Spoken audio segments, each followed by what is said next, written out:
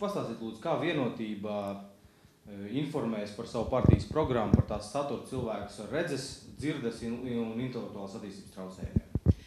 Nu, Pirmkārt, es gribu teikt, ka vienotībai vienmēr ir bijis programmā pievērsta liela uzmanība tieši tam, lai cilvēki, kuri nav redzami, varbūt bieži vien uz ielas, lai saprastu, ka arī viņi ir mūsu sabiedrības daļa.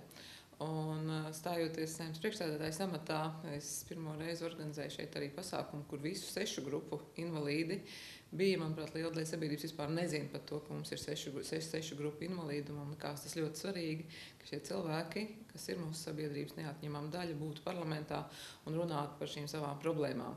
Rezultātā tas, kas ir noticis, ir, manuprāt, vismaz viens neliels pozitīvs pavērsiens, ka valdība ir atradusi šo Eiropas naudu, kuru pārdalīt ir tieši, lai cilvēki ar, ar, ar, ar dzirdes, dzirdes problēmām varētu, varētu iegūt vairāk informāciju. Bet tas, protams, noteikti noteikti ir par maz.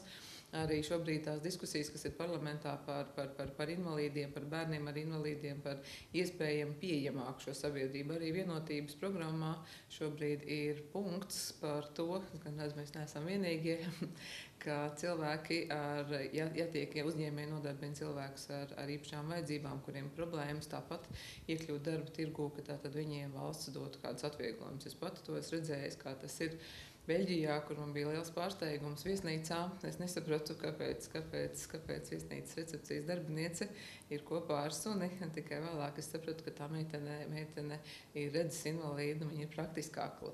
Un tā tad tie ir piemēri, pēc kuriem Latvijai vajadzētu tiekties. Ja mums brīžiem liekas, ka cilvēki ar invaliditāti Latvijā ir ļoti maz. Mēs vienkārši esam līdz šim neesam viņi, par viņiem pietiekami parūpējušies. Nesam, viņi tieši tāpēc ir nemanāmi, tāpēc ka nav, nav, viņiem nav iespēju uh, iesaistīties uh, sabiedriskajā dzīvē.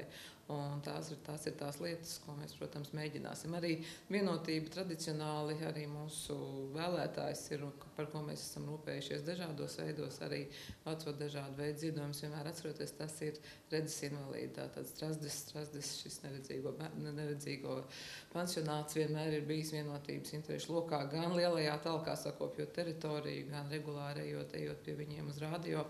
Tātad, protams, tas veids uzrunājot arī šīs grupas tajā veidā, kādā viņus var uzrunāt.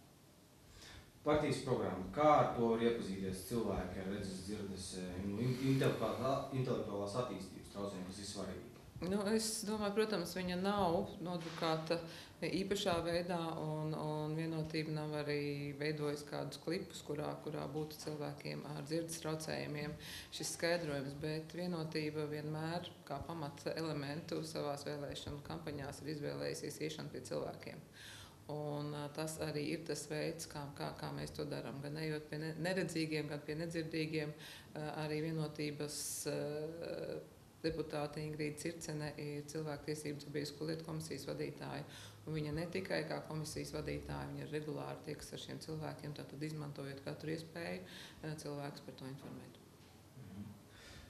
Ja vienotībai būs tikpat liela teikšana kā līdz šim, pēc nākošajām saimnes vēlēšanām, kas ir paredzēts kaut kādas konkrētas lietas jūsu partijas programmā, kā jūs uzlabosiet cilvēku invaliditāti dzīves līmeni? Konkrētas lietas, tas ir, kā jūs teicat, joprojām pamatā, manuprāt, ir tas, lai cilvēki iesaistītos sabiedriskajā dzīvē, lai šie cilvēki nebūtu ārpus, ārpus sabiedrības un ārpus, ār, ārpus darba, lai šie cilvēki paši varētu justies kā pilnvērtīgi sabiedrības locekļi, tātad iesaistoties un paši strādājot un pelnot sev naudu. Tā pamat, pamat, pamat uzstādījums ir uz to, ka ikvienam sabiedrības loceklim ir jābūt iespējai iesaistīties, ja, protams, šī invaliditāte ir tāda, ka cilvēks nespēj sev, sev šos līdzekļus pelnīt.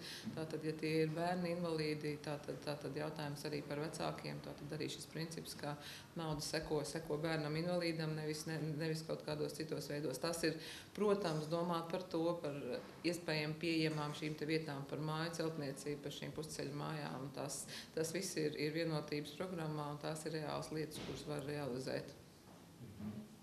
Uh, šobrīd daudz, daudz sūdzību saņemam par tādām lietām kā tehniskie palīglīdzekļi, par izglītību, kas ir RC koledžu jūrmalā, par sociālās integrācijas valsts aģentūru kā tādu. Uh, tas ir lietas, kas ir izsnāms jau valstiskā līmenī, kas ir jau ko zem konkrētā ministrijā apakšā. Kāpēc mums tā kaut kā ļoti lēni risinās priekš, tāpēc, ka svarīgāk citi jautājumi?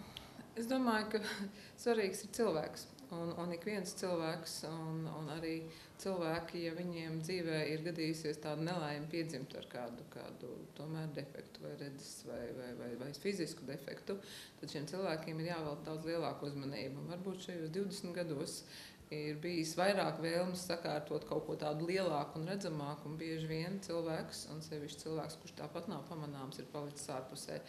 Bet eh, kaut kādi tomēr uzlabojumi notiek. Man ļoti patīk šī sabiedriskā aktivitāte par, par invalīdu stāvvietām, kā, tiek, kā, kā tomēr cilvēki paši ar šo aicinājumu iedomājieties sevi šajā vietā. Un, un, kā es teicu, es arī tiešām esmu saņēmis atzinību no no invalīdu biedrībām par to, ka arī invalīdiem ir tiesības nākt saimā. Mums ir arī šajā saimā atlaistajā jau gan ir bijis ievēlēts eh, Mārs Zelskalns, kurš pats ir, ir, ir, ir kustība invalīds.